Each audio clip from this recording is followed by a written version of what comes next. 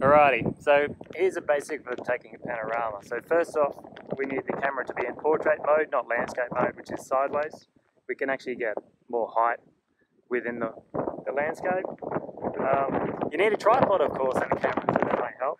Also, if you have a look here, I've got my levels button.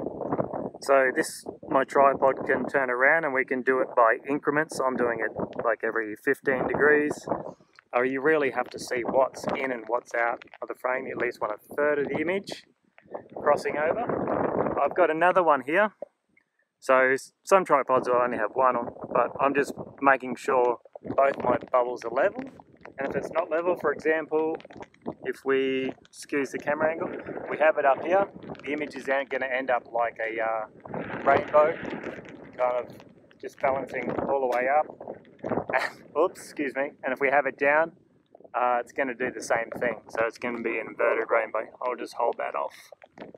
And pretty much all we have to do, once the camera's level, is just move it. I'm moving it 15 degrees, but it might be 10 degrees or really you just move it in increments and take the photo on the tripod and just merge the five in or six photos in.